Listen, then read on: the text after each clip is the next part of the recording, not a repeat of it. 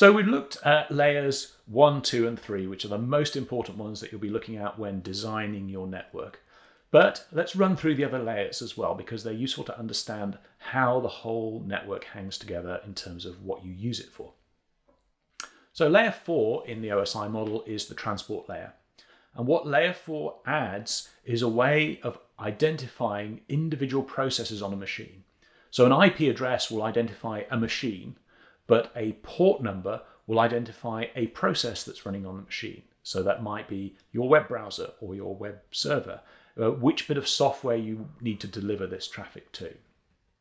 That's the fundamental uh, service that Transport Layer provides.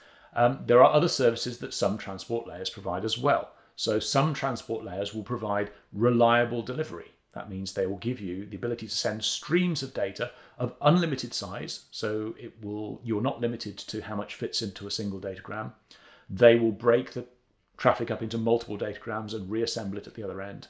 They will provide error correction and retransmission so that if uh, data is lost, then it was automatically retransmitted.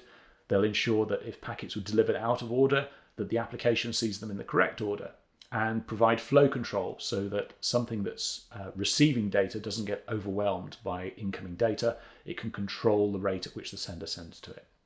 So those are features that may exist at layer 4, but they might not. So you could at layer 4 just have an unreliable datagram transport, which essentially takes a piece of data and puts it inside an, a layer 3 datagram and sends it, and it may or may not get delivered successfully. So examples of layer 4. Here's the first example, UDP, the User Datagram Protocol. And this is one of these protocols that doesn't provide any delivery guarantees. All it does is it adds a few extra fields uh, inside the datagram you have a source port number, a destination port number, a length, and a checksum. So it will detect transmission errors. And then the payload. So the port numbers are 16 bits, and some of those ports, the ports below 1024, they're called well known ports, and they're assigned to applications. Um, so there's a registry at IANA which will track uh, official allocations for what these port numbers are used for. So, example, UDP port 53 is supposed to be used for DNS.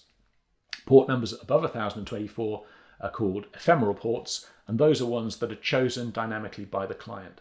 So whenever you send a packet to a DNS server, the destination port number will be 53, but the source port number will be some port number that you choose, that your client application that's sending will choose, or the operating system will choose on its behalf, so that when the response comes back, that will become the destination port for the response, and the destination message can be delivered back to the right uh, application.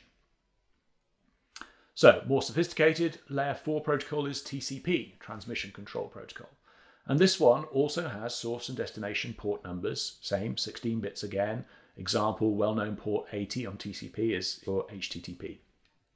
But it adds a bunch of other fields here so that the header for TCP is much bigger.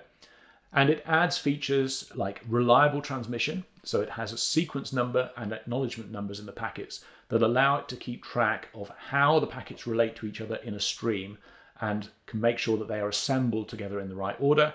And if they need to be retransmitted, you know which ones to retransmit. There is flow control, which is handled by the window mechanism. The window says how much data the other side is allowed to send before the receiver's buffer gets full. So the receiver will buffer up that amount of data. The transmitter will stop until the receiver has consumed some data from the buffer. So that allows the receiver to control the flow of data back uh, by the transmitter. There are flags that control the session. So SYN and ACK are used in setting up a TCP session, and FIN and reset are used in closing it down. And in fact, the TCP header is a variable length, so it's possible to extend the header by turning on options. So the field that says how many option bytes are there, that uh, allows extra features to be added to TCP over time. And this has been done. A number of new features have been added to TCP in this way.